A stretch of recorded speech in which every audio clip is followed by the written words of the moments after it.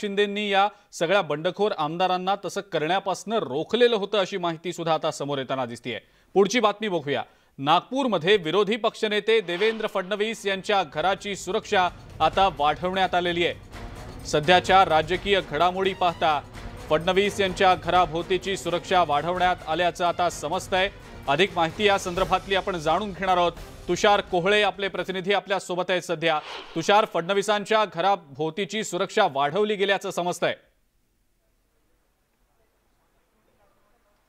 विलास मी सध्या नागपूरमधील विरोधी पक्षनेते देवेंद्र फडणवीस यांच्या घरासमोर आहे. जर का तुम्ही बघितलं तर नेहमी तिथे जी सुरक्षा असते त्यामध्ये वाढ करण्यात आलेली आहे. नागपूर शहर पोलिसाचे हे आपल्याला कर्मचारी ते पाहायला मिळत आहे आणि आज सकाळपासूनच हे कर्मचारी ते रुजू करण्यात आलेले आहे. कारण की ज्या प्रकारे राजकीय घडामोडी संपूर्ण राज्यामध्ये घडक आहेत त्या पार्श्वभूमीवर ही सुरक्षा वाढवण्यात आलेली आहे. आता जर का आपण यांच्या निवासस्थानाचा विचार करायचा झाला तर त्यांचे इथले जे नियमितचा जो कर्मचाऱ्यांचा स्टाफ आहे ते नियमितचा स्टाफ आहे सोबतच त्यांची आई देखील नागपूरच्या घरी आहे. आणि आता जसजशा राजकीय घडामोडी घडत आहेत तिथे गर्दी देखील पाहायला मिळत आहे. इथे शहर अध्यक्ष आहे भाजपचे आपण त्यांना विचारा प्रवीण दटके आहे शहर अध्यक्ष आहे. बोलायला तयार नाही कारण की ज्या प्रकारे राजकीय नेत्यांना बोलण्यास भाजपकडनं मज्जाव करण्यात आलेला आहे कारण की या संपूर्ण दोन तीन दिवसाच्या घडामध्ये जर तुम्ही बघितलं तर भाजपचे नेते कोणतेही पुढे येऊन काही बोललेले नाही त्यामुळे ते बोलायला तयार नाही.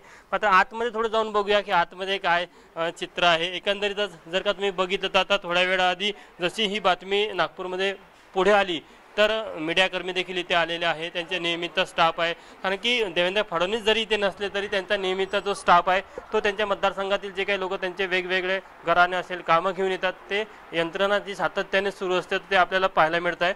पण एक गोष्ट निश्चित आहे की आज सकाळपासनं ज्या प्रकारे ते सुरक्षा व्यवस्था वाढवण्यात आलेली आहे त्यामुळे निश्चितच सर्वांचं लक्ष असणार आहे. विशेष करून देवेंद्र फडणवीस हे नागपूरमधनं प्रतिनिधित्व करतात आणि याआधी देखील ते नागपूरचे म्हणून मुख्यमंत्री म्हणून त्यांनी राज्याचं पद भूषवलेलं आहे. त्यामुळे सर्वांचं लक्ष आहे की निश्चितच जर का काही मोठ्या हालचाली झाल्या आणि परत देवेंद्र फडणवीस यांना मुख्यमंत्री बनण्याची संधी मिळाली तर सर्व नागपूरकरांना त्याचा आनंद होईल.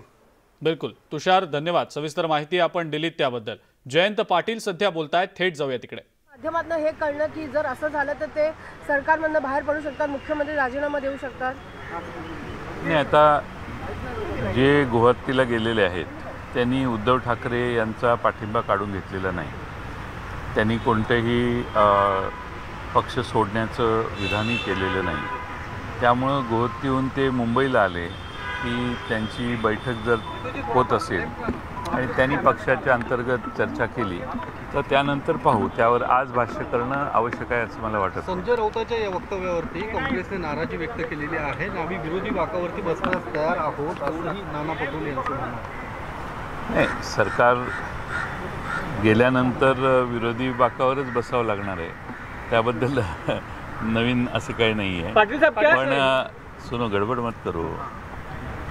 ये पहला मराठी करेंगे महाराष्ट्र में रहते पहले मराठी में बाद में हिंदी में आएंगे। जल्दबाजी मत करो। ठीक आहे त्यामुळे संजय राऊत यांनी जे विधान केलेलं आहे त्यांनी अंतर्गत चर्चा करून विचार करून केलेलं असेल पाहू काय होते आता. पक्ष वाचवण्यासाठी अशा पद्धतीने स्टँड शिवसेनेला किंवा संजय राऊतांना घ्यावा लागतोय का? नाही, शिवसेनेचा आत्तापर्यंतचा इतिहास असा आहे की अनेकांनी पक्ष सोडला आणि पुन्हा सार्वत्रिक निवडणुकीत त्यांचा पराभव झाला. त्यामुळे पक्षाचे कार्यकर्ते हे आमदारांच्यावर नसतात तर पक्षाबरोबर असतात. ते शिवसेने शिवसैनिकांनी अनेक वेळा दाखवून दिलेलं आहे.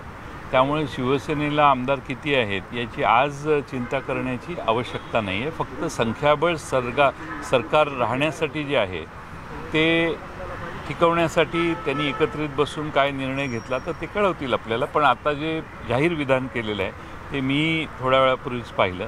त्यावर आम्ही अंतर्गत काही विचार केलेला नाही. आत्ताच त्यांनी विधान केलेलं आहे. सीएम बॅकफुटवर गेले असं कुठेतरी वाटतं का? का? कारण सीएमने पहिला सांगितलं की तुम्ही सांगितलं तर मी राजीनामा दे आणि सीएम सगळं सोडून वर्षा सोडून मातोश्रीवर गेले. कुठेतरी बॅकफुटवर गेले सीएम असं वाटतं का? मला असं वाटतं की वर्षा सोडून मातोश्रीवर जाणं हा त्यांचा व्यक्तिगत निर्णय आहे. त्यांनी सध्याची परिस्थिती बघून त्यांनी तो निर्णय घेतलेला दिसतोय. याचा अर्थ आजही ते मुख्यमंत्री आहेतच पण मातोश्रीवर राहून ते काम करतात. या बैठकीमध्ये नेमकं काय आजची चर्चा होणार आहे?